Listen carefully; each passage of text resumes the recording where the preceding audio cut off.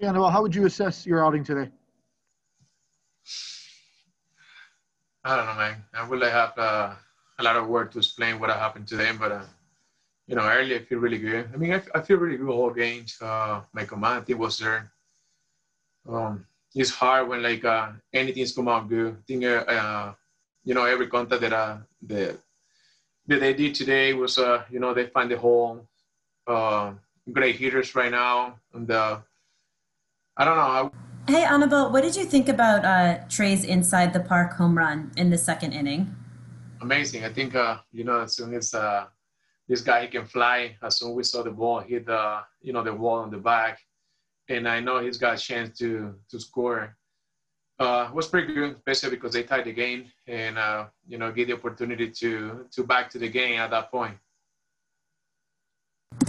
Also, we just talked to Will Harris, who was putting a lot of the game on himself. You've seen Will pitch a ton over the years. Just what do you know about Will as a pitcher and what what he's able to do that that maybe he's not producing right now as best as he wants to? I think it's uh, uh, uh, always in baseball, especially on the team, is uh, you call it a domino effect. You know, like uh, right now the the way that he pitched, I think he's good. I mean uh, I think he feel good too. The the pitch is there, but you know when anything is coming out good for uh, as a team, it's really hard to to figure out what really is going on.